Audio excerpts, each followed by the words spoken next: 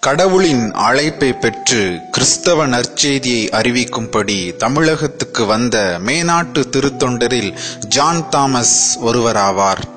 அவர் நம் நாட்டின் தென்கோடியில் சிறந்த கிறிஸ்தவ தொண்டாற்றியவர். அவருடைய வாழ்க்கை வரலாற்றிற்கு வேண்டிய விவரங்களை சேகரித்து புத்தக வடிவாக ஆங்கிலத்தில் எழுதி வெளியிட்ட ஒரு ஆங்கில திருச்சபை குரு அப்புத்தகத்திற்கு கொடுத்த தலைப்பு ஒரு சிறந்த மிஷினரியின் வாழ்க்கை வரலாறு என்பதாகும். உண்மையாக அவர் வாழ்க்கை ஒரு சிறந்த வாழ்க்கையே. தம்முடைய தாய் நாட்டில் சகல வசதிகளுடன் வாழக்கூடிய வாழ்க்கையை உதறி தள்ளிவிட்டு நம் நாட்டை தம் சொந்த நாடாக கருதி அதில் கிறிஸ்துவின் ராஜ்யம் பரவுவதற்காக அயராது உழைத்த பக்தன் இவர். திருநெல்வேலி மாவட்டத்தின் கோடியில் உள்ள ஒரு சிறு கிராமத்தில் கிறிஸ்தவ மக்கள் வழிபடுவதற்கென்று அவர் கட்டிய பெரிய அழகிய ஆலயம் நம் நாட்டின் கிறிஸ்தவ மக்களிடம் அவர் காட்டிய அன்பிற்கும் அவருடைய உழைப்பிற்கும் நினைவு சின்னமாக அமைந்திருக்கிறது. வேல்ஸ் நாடு இங்கிலாந்து தேசத்தின் மேல் பாகத்தில் உள்ளது. சிறப்பு வாய்ந்த மக்களை ஈன்ற நாடு அது. ஜான் தாமஸ் ஆயிரத்தி எண்ணூற்றி ஏழாம் ஆண்டு நவம்பர் மாதம் பத்தாம் தேதி அந்நாட்டில் ட்ரிலேக் என்னும் இடத்தில் பிறந்தார். பெற்றோருக்கு இவர் மூன்றாவது பிள்ளை. இவருடைய தந்தையின் பெயர் தாமஸ். இவர் ஏராளமான சொத்துக்கள் உடையவர். இவருடைய தாய் பிரான்சஸ் ஜான் டேவிஸ் என்னும் குருவின் ஒரே மகள். ஜான் டேவிஸ் உயர்ந்த பண்புகள் வாய்ந்த கிறிஸ்துவின் மையடியான் சிறுவராயிருந்த பொழுது ஜான் தாமஸ் தம்முடைய பாட்டனார் வீட்டில் வளர்ந்தார். ஒன்பது வயதினராயிருக்கும் பொழுது கார்மார்த்தன் என்னும் இடத்திற்கு அவர் சென்றார். அவருடைய பெற்றோர் அப்பொழுது அவ்விடத்தில் வசித்து வந்தனர். ஆயிரத்தி எண்ணூற்றி பதினாறாம் ஆண்டு முதல் ஜான் தாமஸ் தம்முடைய பெற்றோருடன் தங்கி அங்குள்ள பள்ளிக்கூடத்தில் கல்வி கற்று வந்தார். இளைஞராயிருந்த பொழுது தண்ணீரில் நீந்தி விளையாடுவது அவருக்கு ஒரு பொழுதுபோக்காக இருந்தது. ஆயிரத்தி எண்ணூற்றி இருபத்தி ஆறாம் ஆண்டில் தமது பத்தொன்பதாவது வயதில் வழக்கறிஞர் தொழிலில் ஈடுபட வேண்டுமென்ற நோக்கத்துடன் கார்மார்த்தன் என்னுமிடத்தில் உள்ள ஒரு வழக்கறிஞரின் அலுவலகத்தில் சேர்ந்தார். இப்பணியில் திறமைசாலியாகவும் புத்தி கூர்மையுள்ளவராகவும் காணப்பட்டார். நார்பாத் என்னுமிடத்தில் ஒரு புது அலுவலகம் திறந்த பொழுது அவரை அதன் பொறுப்பேற்று நடத்த அங்கு அனுப்புவதற்கு திட்டமிட்டிருந்தனர். ஆனால் அத்திட்டம் நிறைவேறவே இல்லை. உலகம் அனைத்தையும் தமது சித்தத்துக்கு கீழ்ப்படுத்தி ஆளுகை செய்யும் பரமபிதா ஜான் தாமஸின் பிற்கால வாழ்க்கையை குறித்து வேறு விதமான திட்டம் போட்டிருந்தார். ஆயிரத்தி எண்ணூற்றி இருபத்தி ஏழாம் ஆண்டு ஒரு ஞாயிற்றுக்கிழமை மாலையில் லாம்ஃபீல்டில் நடைபெற்ற ஆலய ஆராதனைக்கு ஜான் தாமஸ் தம் நண்பருடன் சென்றிருந்தார். குருவானவர் பயர்ஸ் அன்று கொடுத்த செய்தி ஜான் தாமஸின் மனதை தொட்டது. தம்முடைய பாவங்களை குறித்து மனஸ்தாபப்பட்டு அவைகளை அறிக்கையிட்டு மன்னிப்புக்காக மஞ்சாடினார் ஆராதனை முடிந்த பின்பு சபை குருவுடைய இல்லத்திற்கு சென்று குருவானவர் பயர்ஸுடன் சேர்ந்து ஜெபித்தார். அன்று முதல் பயர்ஸுடன் அவர் நெருங்கிய தொடர்பு கொண்டிருந்தார். பயர்ஸ் ஒரு போர் சேவகராக தம் நாட்டில் பன்னிரண்டு ஆண்டுகள் இருந்தவர். இந்திய மக்களின் பேரில் பற்றுதலுடையவர். இந்தியாவிற்கு ஆங்கில மக்கள் சென்று கிறிஸ்தவ நற்செய்தியை அங்குள்ள மக்களுக்கு அறிவிக்க வேண்டும் என்று மாதாந்திர கூட்டங்களில் அவர் கூறி வந்தார். பர்மாவிற்கும் இலங்கைக்கும் இந்தியாவுக்கும் சென்று அப்பொழுது தாய்நாடு திரும்பி வந்திருந்த கேப்டன் போப்ஸ் என்பவரும் அதை குறித்து கூட்டங்களில் வலியுறுத்தி பேசினார். இக்கூட்டங்களுக்கு சென்ற ஜான் தாமஸ் அதை குறித்து ஜெபித்து நம் நாட்டிற்கு மிஷினரியாக வருவதென்று முடிவு செய்தார். ஆயிரத்தி எண்ணூற்றி முப்பத்தி ஐந்தாம் ஆண்டு ஜூன் மாதம் பதினான்காம் தேதி லண்டன் அத்தியட்சகரால் டீக்கன் பட்டம் பெற்றார். மறு வருடம் ஜூன் மாதம் ஐந்தாம் தேதி குரு பட்டம் பெற்றார். தாய்நாட்டை விட்டு இந்தியாவுக்கு மிஷனரியாக செல்லும் நாள் நெருங்கிற்று.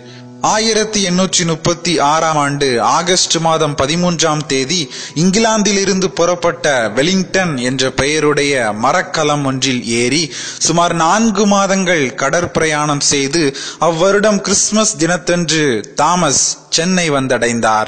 அங்கு சில நாட்கள் செலவிட்டு மறுவருடம் பிப்ரவரி மாதம் ஐந்தாம் தேதி திருநெல்வேலியை அடைந்தார். திருநெல்வேலி மாவட்டத்தில் திருச்செந்தூரிலிருந்து சுமார் பதினெட்டு மைல் தூரத்தில் மெய்ஞானபுரம் என்ற சிற்றூர் உண்டு. முன்னாட்களில் அதற்கு நடுவலை என்று பெயர். நம் நாட்டிற்கு வந்த நாளிலிருந்து வாழ்நாள் இறுதி வரை தாமஸ் அதனை தமது தலைமையிடமாக கொண்டார். மிஷனரி ரேனியஸ் ஆரம்பித்த தர்ம சகாய நிதியை கொண்டு கட்டப்பட்ட சிற்றாலயம் ஒன்று அவ்வூரில் இருந்தது. தாழ்வான மண் சுவரின் மேல் கூரை போட்ட காற்றோட்டமில்லாத ஆலயம் அது. ஆயிரத்தி எண்ணூற்றி நாற்பத்தி ஏழாம் ஆண்டு கிறிஸ்துமஸ் தினத்தன்று தாமஸ் அதில் ஆராதனையை நடத்தி தமிழ் மொழியில் பிரசங்கம் செய்தார்.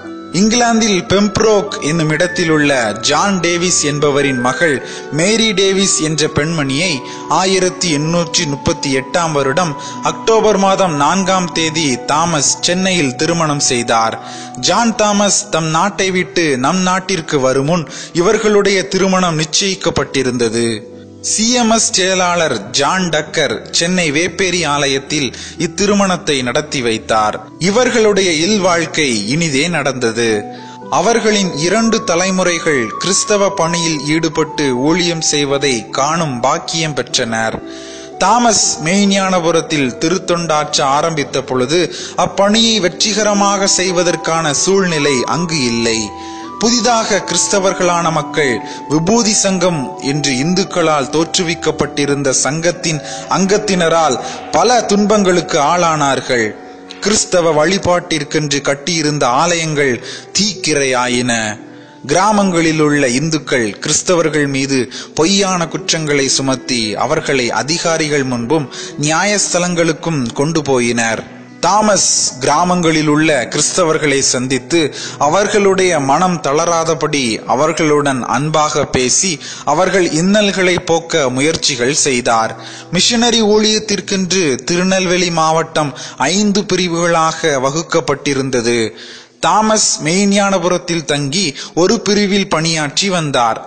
அங்குள்ள சுற்றுப்புறங்களில் இருந்த சுமார் நூற்றி இருபது கிராமங்களுக்கு சென்று அங்குள்ள மக்களின் நிலைமையை உயர்த்தவும் சுவிசேஷ பணி செய்து வந்த உபதேசிமார்களின் ஊழியத்தை பயனுள்ளதாக்கவும் முற்பட்டார். ஆயிரத்தி எண்ணூற்றி முப்பத்தி எட்டாம் ஆண்டு ஜூன் மாதம் குற்றாலத்தில் புதிதாக கட்டப்பட்ட ஒரு சிறு ஆலயம் கிறிஸ்தவ வழிபாட்டிற்கென்று பிரதிஷ்டை செய்யப்பட்டது. அவ்வாராதனையில் தாமஸ் பங்கெடுத்து திருவிருந்து பரிமாறி பிரசங்கம் செய்தார். ஆயிரத்தி எண்ணூற்றி நாற்பதாம் ஆண்டு மாவட்ட ஆலய கட்டுமான நிதியொன்று நிறுவப்பட்டது. அதன் முதல் ஆண்டு விழாவில் தாமஸ் தலைமை வகித்தார். பல இடங்களிலிருந்து வந்து சுமார் முன்னூறு கிராம மக்கள் அதில் கலந்து கொண்டனர். கிராமங்களில் வாழ்ந்து வந்த கிறிஸ்தவ மக்கள் இச்சங்கத்தின் காரியங்களில் காட்டிய ஊக்கமும் உற்சாகமும் அவருக்கு மகிழ்ச்சியை கொடுத்தன. ஆயிரத்தி எண்ணூற்றி நாற்பத்தி மூன்றாம் ஆண்டு முதல் தொடர்ச்சியாக மூன்று ஆண்டுகள் திருநெல்வேலி மாவட்டத்தில் சில பகுதிகளில் வாந்தி பேதியால் பல மக்கள் மாண்டனர். கிறிஸ்தவர்களிலும் பலர் அதனால் மறித்தனர் இம்மரணங்கள் அவருக்கு மன வருத்தத்தை கொடுத்தன. ஆனால் கிறிஸ்தவ நற்பண்புள்ளவர்களாக வாழ்ந்து கிறிஸ்துவின் பேரில் விசுவாசமுள்ளவர்களாக இவ்வுலக வாழ்வை விட்டு அவர்கள் சென்றது. புற மதஸ்தர்களுக்கு ஒரு நற்சாட்சியாக இருந்ததை அறிந்து அவர் மனம் சமாதானம் அடைந்தது.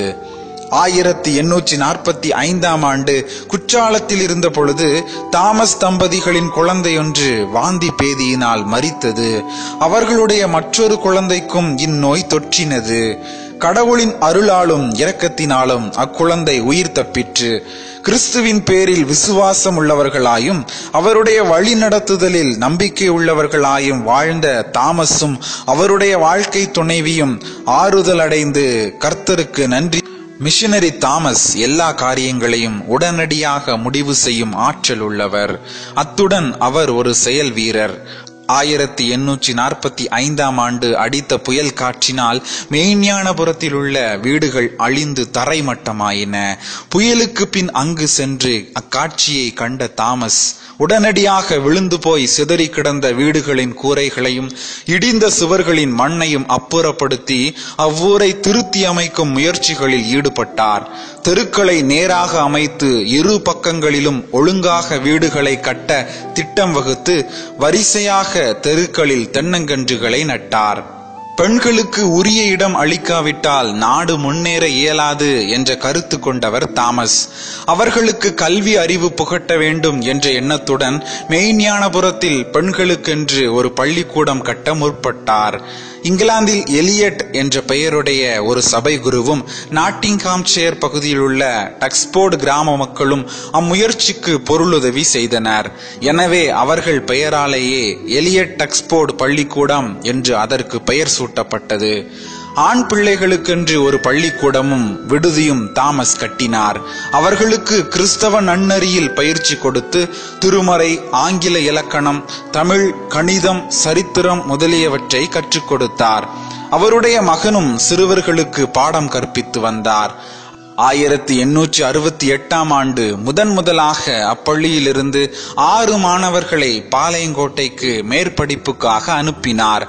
இவர்கள் கல்வியில் முன்னேற்றம் அடைந்து கிறிஸ்துவின் மெய்யடியார்களாக திகழ்ந்து சுவிசேஷத்தை அறிவிக்க அவர்கள் முன்வர வேண்டும் என்பது அவருடைய வாஞ்சையாகும்.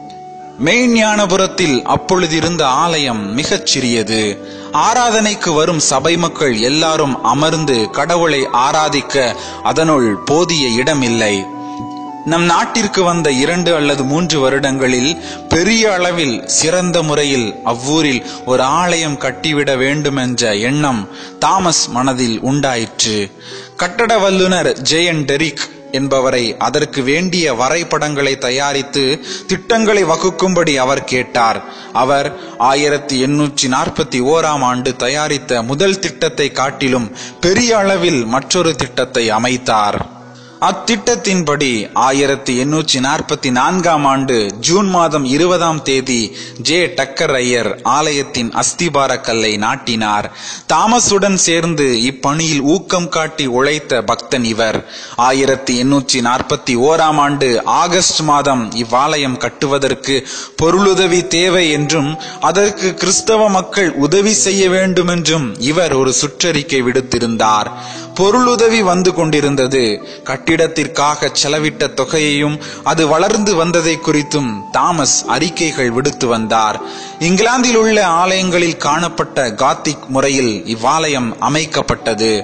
ஆயிரத்தி எண்ணூற்றி நாற்பத்தி ஏழாம் ஆண்டு ஆலயம் கட்டி முடிக்கப்பட்டு அவ்வருடம் டிசம்பர் மாதம் ஒன்பதாம் தேதி அது தாமஸ் ஐயரால் பிரதிஷ்டை செய்யப்பட்டது. நம் நாட்டில் திருப்பணி செய்த முப்பத்தி மூன்று வருடங்களில் இருமுறை தாமஸ் தம் தாய்நாட்டிற்கு சென்று திரும்பினார். அயராது கிராமங்களில் சுற்றுப்பிரயாணம் செய்து உழைத்ததின் காரணமாக அவருடைய உடல் நலம் கெட்டது. எனவே ஆயிரத்தி எண்ணூற்றி நாற்பத்தி எட்டாம் ஆண்டு தம்முடைய குடும்பத்துடன் இங்கிலாந்துக்கு சென்றார். அவரது நண்பர் சபை குரு பியர்ஸ் பணியாற்றின இடத்தில் சில காலம் ஓய்வெடுத்து அதன் பின்பு சிஎம்எஸ்ஸின் பிரதிநிதியாக இங்கிலாந்து வேல்ஸ் பிரதேசங்களில் சுற்றுப்பிரயாணம் செய்தார். இந்தியாவுக்கு திரும்பாமல் இங்கிலாந்திலேயே பாதிரியாராக ஊழியம் செய்யும்படி நண்பரில் சிலர் அவரை வற்புறுத்தினர். அவர் அதற்கு இணங்கவில்லை. சுமார் இரண்டு வருடங்கள் தம் தாய்நாட்டில் செலவிட்டார். திரும்பி நம் தாய்நாட்டிற்கு அவர் வந்த பொழுது மெய்ஞானபுரத்தில் உள்ள மக்கள் தங்களோடு தங்கி உழைக்கும்படி அவர் திரும்பி வந்தது. தங்கள் கிராமம் பெற்ற பாக்கியம் என்று கருதி அவருக்கு சிறப்பான வரவேற்பை கொடுத்தனர். ஆயிரத்தி எண்ணூற்றி ஐம்பத்தி ஓராம் ஆண்டு ஜனவரி மாதம் சென்னை அத்தியட்சகருடன் அவர் கடாட்சபுரம் கிறிஸ்டியா நகரம் பிரகாசபுரம் முதலிய கிராமங்களுக்கு சென்றார். அத்தியட்சகர் சென்னைக்கு திரும்பிய பின் தாமஸ் தம்முடைய சுற்றுப்பிரயாணத்தை ஆரம்பித்து காயாமொழி சமாதானபுரம் ஆறுமுகநேரி நாலுமாவடி முதலான கிராமங்களுக்கு சென்று பணி செய்து திரும்பினார். பல வருடங்கள் அவரும் உபதேசிமாறும் இக்கிராமங்களில் கிறிஸ்தவ நற்செய்தியை எடுத்துரைத்ததற்கு பலன் கிடைத்தது. சுப்பிரமணியபுரம் ராசாமணிபுரம் பூவரசூர் என்ற கிராமங்களில் மக்கள் விக்கிரக வணக்கத்தை விட்டு மனம் மாறி கிறிஸ்தவர்கள் ஆனார்கள். ஆலயங்களும் பள்ளிக்கூடங்களும் இவ்விடங்களில் காணப்பட்டன. இங்கிலாந்தில் கென்ட் பகுதியில் உள்ள சவுத்பரோ என்னும் இடத்தில் உள்ள மக்கள் பூவரசூர் பள்ளிக்கூட ஆசிரியர் ஆசிரியைகள் சம்பளத்தை கொடுக்கும் பொறுப்பை ஏற்றுக்கொண்டனர். அப்பள்ளிக்கூடம் சிறந்த முறையில் இயங்கி வந்தது. ஆயிரத்தி எண்ணூற்றி அறுபத்தி ஓராம் ஆண்டு இரண்டாம் முறை ஜான் தாமஸ் தம் நாட்டிற்கு சென்றார். மெய்ஞானபுரத்தில் அவருடைய முயற்சியால் ஆரம்பிக்கப்பட்ட ஆலயம் முழு வடிவில் பூர்த்தியாகாமல் இருந்தது. அதை கட்டி முடிப்பதற்கான முயற்சிகள் எடுக்க விரும்பியே அம்முறை தாமஸ் இங்கிலாந்திற்கு சென்றார். அங்கு சென்றவுடன் டக்கர் பாதிரியாரை தொடர்பு கொண்டு அப்பணிக்கு பொருளுதவி தேவை என்று ஒரு சுற்றறிக்கை விடுத்தார். லண்டனை தமது தலைமையிடமாக கொண்டு இங்கிலாந்தில் சுற்றுப்பிரயாணம் செய்தார்.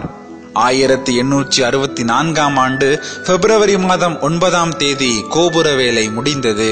சென்னை கவர்னர் நேப்பியர் பிரபு மெய்ஞானபுரத்திற்கு வந்த பொழுது அது முழுமை பெற்று பிரதிஷ்டை செய்யப்பட்டது. கருப்பும் வெள்ளையுமான சதுர கற்களை பதித்து தளவரிசை போடப்பட்டது. ஆலய பிரசங்க பீடத்தை சென்னை அத்தியட்சகர் அளித்தார். தினசரி நிகழ்ந்த நிகழ்ச்சிகளை தம்முடைய குறிப்பு புத்தகத்தில் தாமஸ் எழுதி வைத்தார். அவர் செய்த பணியின் விவரங்கள் அனைத்தையும் அதிலிருந்து எடுத்து பேசினால் அது விரிந்து கொண்டே போகும். அவைகளில் மெய்ஞானபுரத்திலிருந்து சுமார் மூன்று மைல்கள் தூரத்தில் உள்ள வெள்ளாளன் விலையில் நேரிட்ட நிகழ்ச்சிகளை மட்டும் எடுத்து பேசுவது பயன் தரும். பல வருடங்கள் தாமஸ் அக்கிராமத்திற்கு சென்று கிறிஸ்துவின் நற்செய்தியை அறிவித்து வந்தார். ஆனால் பலன் யாதொன்றும் கிடைக்கவில்லை. ஒரு நாள் வழக்கப்படி பிரசங்கம் செய்துவிட்டு அங்கிருந்த ஆலமரத்தடியில் முழங்காலில் நின்று ஆண்டவரே இம்மக்களின் இருதயத்தை திறந்தருளும் என்று ஊக்கமாய் ஜெபித்தார். பின்பு எழுந்து நின்று ஒரு தீர்க்க தரிசன மொழி போல் விக்கிரகங்களை வணங்கும் மக்கள் ஒருவரும் இல்லாமல் இவ்விடத்தில் ஒரு கிறிஸ்தவ ஆலயம் கட்டப்படும் நாள் சீக்கிரமாய் வருகிறதென்று கூறினார். இவ்வாக்கும் நிறைவேறிற்று. கிறிஸ்தவ ஆலயம் ஒன்று அங்கு கட்டப்பட்டது. அவர் விரும்பியபடி மெய்ஞானபுரத்தில் ஒரு சிறந்த ஆலயம் கட்டி முடிந்தது ஒரு முக்கிய சாதனையாகும். அவருடைய மற்றொரு நோக்கம் தமிழ் மக்கள் சபை குருக்களாகவும் சுவிசேஷ பணியாற்றுகிறவர்களாகவும் திகழ வேண்டும் என்பதாகும். அவர் தெரிந்தெடுத்து பயிற்சி கொடுத்த பல உபதேசிமார்கள் வேத அறிவுடையவர்களாகவும் சகல கிறிஸ்தவ நற்குணங்களும் பொருந்தியவர்களாகவும் விளங்கினர். ஆயிரத்தி எண்ணூற்றி அறுபத்தி ஒன்பதாம் ஆண்டு ஜனவரி மாதம் முப்பத்தி ஓராம் தேதியன்று பாளையங்கோட்டையில் அவர்களில் பனிரெண்டு பேர் பிஷப் ஜெல் அவர்களால் குருவானவர்களாக அபிஷேகம் செய்யப்பட்டனர். தாமஸுக்கு இந்நிகழ்ச்சி மகிழ்ச்சியையும் மன நிறைவையும் கொடுத்தது. அயராது உழைத்த ஜான் தாமஸ் ஆயிரத்தி எண்ணூற்றி எழுபதாம் ஆண்டு மார்ச் மாதம் நோய்வாய்ப்பட்டார். அதை குறித்து மிஷனரி சார்ஜென்ட் கேள்விப்பட்டு மெய்ஞானபுரத்திற்கு சென்றார். அவரும் தாமஸின் மனைவியும் பிள்ளைகளும் அவரை சூழ்ந்து நிற்கும் பொழுது தமக்கு கடவுள் கொடுத்த பணியை சிறப்புற செய்து முடிக்க அவர் கிருபை கொடுத்ததற்காக நன்றி செலுத்தி மார்ச் மாதம் இருபத்தி எட்டாம் தேதி மறுமைக்குள் பிரவேசித்தார் ஜான் தாமஸ். மெய்ஞானபுரத்தின் முன்னேற்றத்திற்கு அடிக்கோலியவர் தாமஸ் என்று கூறுவது மிகையாகாது. அதை சுற்றி இருந்த கிராமங்களில் உள்ள மக்கள் கிறிஸ்துவை அறியவும் அவர்களில் பலர் கிறிஸ்தவ சபையில் சேரவும் காரணமாயிருந்தவரும் அவரே. அவருடைய மகன் ஜான் டேவிஸ் தாமஸ் அதற்கு பின் மூன்று வருடங்கள் அங்கு பணியாற்றினார். ஜான் தாமஸின் மனைவி சிறந்த துணைவியாக தாமஸுடன் முப்பத்தி இரண்டு வருடங்கள் வாழ்ந்தார்கள். அவர் மறித்த பின் இருபத்தி ஒன்பது வருடங்கள் மெய்ஞானபுரத்தில் பெண்களிடையே சிறந்த பணியாற்றி ஆயிரத்தி எண்ணூற்றி தொண்ணூத்தி ஒன்பதாம் வருடம் தமது எண்பத்தி எட்டாம் வயதில் நமது ஆண்டவரின் அழைப்பை பெற்று அவர் திருவடையை சேர்ந்தார்கள். இதை கேட்கிற சகோதரனே சகோதரியே வெளிநாட்டில் இருந்த வசதி வாய்ப்பான செல்வ செழிப்பான வாழ்க்கையை விட்டு மிகுந்த உஷ்ணமான தென் தமிழகத்துக்கு வந்து ஆண்டவருடைய பணியை செய்தவர் ஜான் தாமஸ். ஆண்டவருடைய வேலையை ஆண்டவர் காட்டும் இடத்தில் செய்வதற்கு இன்றும் அழைப்பு உன்னை நோக்கி கடந்து வருகிறது. உன் வசதி வாய்ப்புகளை விட்டு ஆண்டவர் காட்டும் இடத்திற்கு செல்ல நீ ஆயத்தமா? கிறிஸ்துவின் அன்பு உன்னை நெருக்கி ஏவவில்லையோ?